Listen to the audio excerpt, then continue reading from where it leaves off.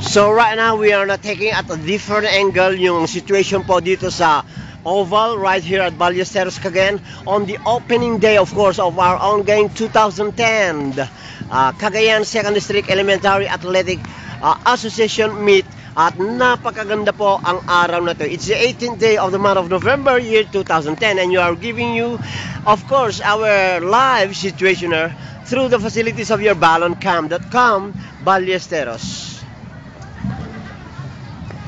So we are now moving again. You have Rizal, then Santo Niño.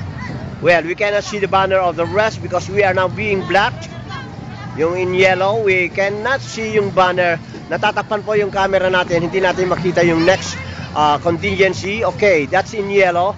Then followed by the, the this is Piat and the uh, Sanchez Mira in dark blue. Then Piat in light blue. Then of course in red we have Abulug District. Followed by Pamplona. Okay. So we are slowly moving with our camera just to pick everything we can and to give you an idea the real situation, the real action which is now happening right here at Ballesteros, Cagayan. Ganito po kasigla ang ating mga atleta ah, sa araw na ito. Bago magumpisa po yung parade around the town, here we are assembled all together as one and enjoying a very fine, fine day.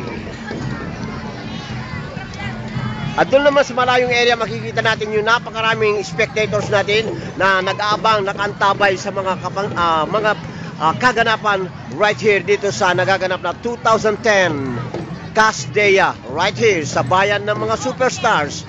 It's your Ballesteros Cagayan through the facilities of your balloncam.com Ballesteros.